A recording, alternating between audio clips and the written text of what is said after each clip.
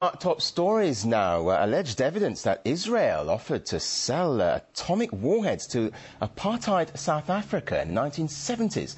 Well, to uh, discuss the implications of this story further, we're now joined live by Dr. Uri Davis, professor at the Institute of Area Studies in Jerusalem. Dr. Davis is the first person of Jewish origin to be elected to the Revolutionary Council of the Palestinian Fatah movement. Uh, thank you very much indeed for joining us. Uh, how do these uh, revelations affect Israel's international standing, especially with regard to the Iranian nuclear issue, do you think?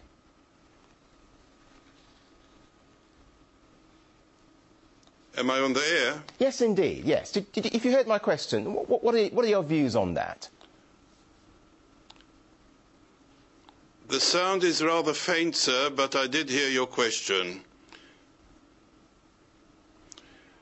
The question of Israeli nuclear arsenal illegal arsenal, arsenal developed in violation of international law, and Israel to date refuses to uh, pin its name to the relevant documents and contracts of non-proliferation. The issue has been uh, unfolding incrementally since the uh, information published by the Sunday Times and released by a very valiant person, Mordechai Vanunu, uncovering uh, the veil over Israeli secret development of nuclear weapons.